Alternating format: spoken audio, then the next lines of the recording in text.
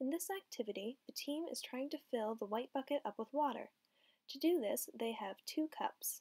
When a cup is filled with water, it can only be passed over the team members' heads. When the cup is empty, they have to pass it between their legs. This requires a lot of communication and paying attention to your team members. Great, great!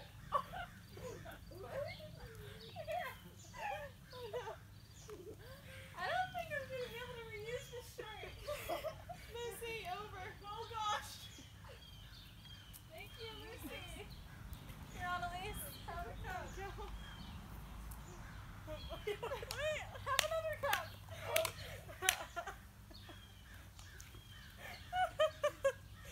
Oh Another gosh. cup. Thank you. Here, have a cup. Poor Corinne, I think it's gonna be the most wet.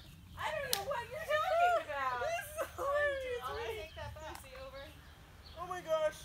Lucy, under. And apparently me over. Here, have one. Annalise. That's under your legs. Yeah. My arm is a little wet. What? Are we done? No. Corinne. Under and over. Woo. Here, have a cup. I like Corinne's version. Wake up! Wait, wait. Oh, over. I think, I think one more. It doesn't hurt continuing to pass the Corinne, cup. Give me your cup. I did.